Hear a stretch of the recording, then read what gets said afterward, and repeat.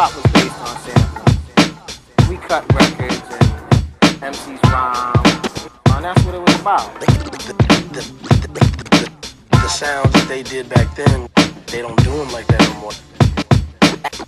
That style died, and the funk just didn't sound rugged like it used to.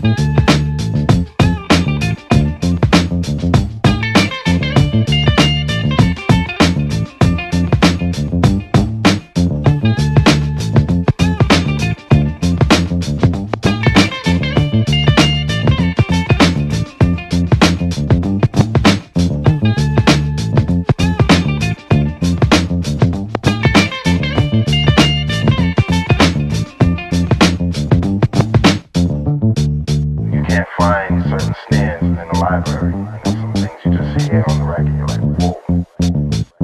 Like a kick and a snare. And it goes boom, back. That, that's how